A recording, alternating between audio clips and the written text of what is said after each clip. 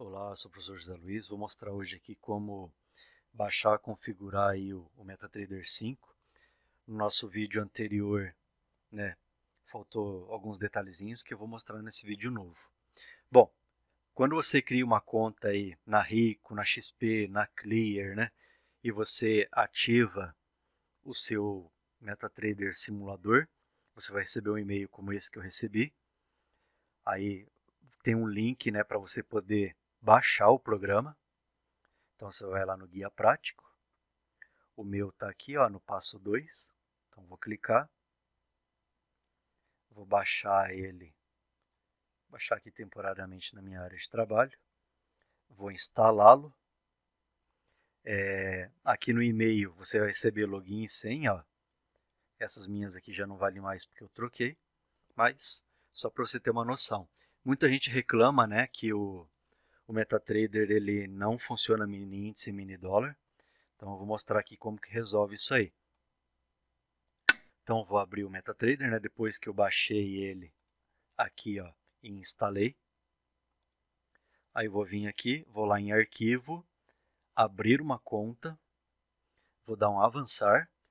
Se não funcionar da primeira vez, depois você troca para o servidor de baixo. Então aqui eu vou avançar.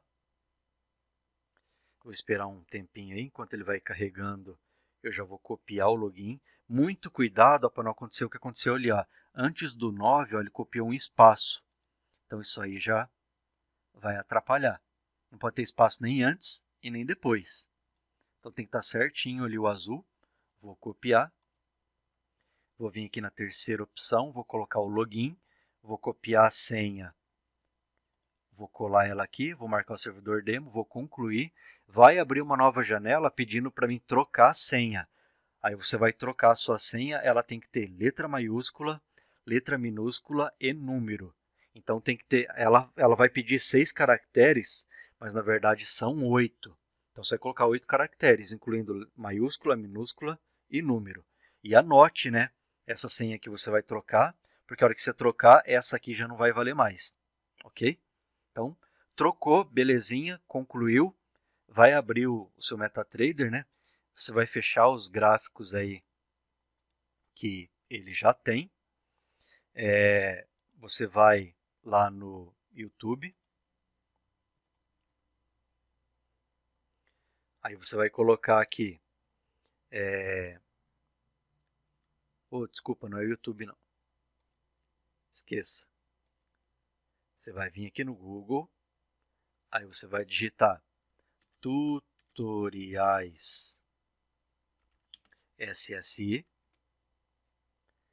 Aí nós vamos ter aqui o nosso canal do YouTube, né? E nós temos aqui embaixo o nosso blog, ó. É esse que está em preto aqui. Por que, que você vai entrar aqui no blog? Para você acessar aqui, ó, códigos, mini índice e mini dólar. Vou deixar na descrição aí do vídeo também o link direto. Aí você vai olhar aqui, ó, eu sempre mantenho atualizados os códigos. Então vou pegar aqui, por exemplo, o código do mini índice. Vou vir aqui no meu MetaTrader. Se você não estiver vendo aqui o observação do mercado, é só você vir aqui no exibir, observação do mercado. Aí você vai vir aqui no código, vai colar o código do mini índice, ele vai aparecer aqui. Só dá um enter e arrastar ele para fora. Aí, ó, já está movimentando, né? É, deixa eu exibir aqui a barra padrão para poder trocar aqui para velas. Ah, eu quero mini dólar também. Volta lá. Olha lá, mini dólar. Copie o código. Faço a mesma coisa. Venho aqui, colo ele. Clico aqui no primeiro, dou um Enter e arrasto ele para fora. Ixi, eu acho que eu arrastei ele dentro do mini índice e ele exclui o mini índice, mas aí é só eu vir aqui de novo, ó, trazer ele para cá. Aí, belezinha, posso fechar aqui o observação do mercado. Aí agora eu só vou regular o tamanho aqui. Ah, deixa eu já habilitar aqui também, eu vou lá no exibir e vou habilitar aqui também o caixa de ferramentas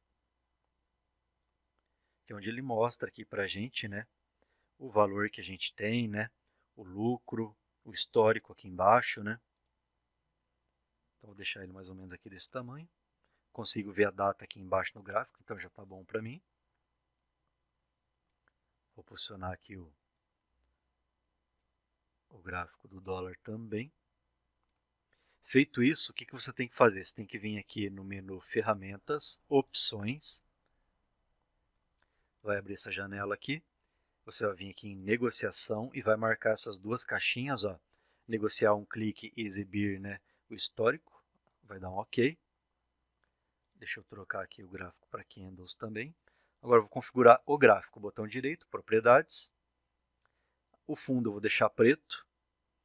Ah, barra de alta verde, barra de baixa, vou colocar vermelho, candle de alta verde, candle de baixa, notem que já está trocando aqui, ó, vermelho, assim. Aqui no mostrar, eu vou tirar a grade, para não ficar estranho assim. Vou clicar com o botão direito, vou em Time Frames, vou colocar 5 minutos, que é o padrão aí que o pessoal gosta de usar. Vou clicar aqui no botãozinho para habilitar o compra e venda. A primeira vez que você clicar aqui, aqui você escolhe o número de contratos, né? Se é 1, 2, 3, né? Vou colocar 1. Opa, 1. Então, a primeira vez que você clicar no comprar ou vender, vai aparecer aí um termo né, para você aceitar. É só aceitar e marcar e dar um OK. Meu lucro está aparecendo aqui, né, da compra que eu fiz. Já vou colocar um stop um pouquinho embaixo aqui, né? Apesar que já deu aí uma grana boa, deu quase 20 reais ali. Passou de 20 já, né? E voltou. Eu ia colocar, deixa eu dar um pouquinho mais de zoom aqui, ó, vamos ver se ele vai deixar eu colocar acima da linha verde. Beleza, ó, vou colocar aqui. Ó. Se ele voltar, eu saio no lucro de qualquer jeito, né? Demorou um pouquinho, mas foi. Então, minha compra foi no verde, meu stop gain está aqui no vermelho. Conforme ele for subindo, eu vou subindo meu stop gain também, né? Olha lá. Ou se quando atingir um valor, lá, voltou, pegou meu stop gain, vou olhar lá no histórico. Olha lá, eu ganhei 17 reais, chegou a dar mais de 30, né? Podia ter saído, mas quis correr o risco. Mas pelo menos não sair no prejuízo, né? Já foi uma negociação aí Bacaninha. Bom, então habilitamos aqui o botão de compra e venda, configuramos aqui as cores, né? Aqui a gente tira o zoom e coloca zoom. Aqui a gente troca o tipo de gráfico. A maioria do pessoal gosta de candles, né? Aí eu vou clicar com o botão direito, vou vir aqui em Templates e vou vir aqui salvar template. Aqui você vai colocar um nome, tipo vou chamar o meu aqui de template SSI. Vou salvar. Aí eu venho aqui no mini dólar, botão direito, templates, carregar template, ou eu venho por aqui, ou ele já vai estar aqui embaixo, ó, template SSI. Olha lá, ó. aí ele já vai ficar com a mesma configuração do outro, ou seja, eu não vou perder tempo aqui, né, configurando o gráfico. Beleza? Então, aqui a gente configura, né? se tiver muito baixo aqui, ó, você sobe por aqui, se ela não estiver aparecendo, você vai lá no menu Exibir e vai marcar Caixa de Ferramentas. O histórico, se não estiver aparecendo o valor aqui, ó, você vai clicar com o botão direito e vai vir aqui e vai marcar Ordens e Ofertas. Aí ele vai mostrar aqui o seu histórico. Beleza? Então, mostrei como compra e venda, como habilita os gráficos. É, o dia que trocar o código, o dia que você entrar aqui e tiver escrito atualização, é porque o código trocou. Aí você vai ter que fechar ele. Vamos lá, vamos fazer para vocês verem. Eu vou fechar, aí vou lá no exibir, observação do mercado, vou lá no, no blog, né? Eu vou copiar o código novo, vou voltar aqui, e vou vir aqui na observação do mercado, vou colar e dar um Enter. Ele vai aparecer aqui, aí eu vou arrastar ele para fora. Não vou perder tempo para configurar ele, né? Porque é só eu vir aqui com o botão direito, Templates, e pego lá o template que eu salvei.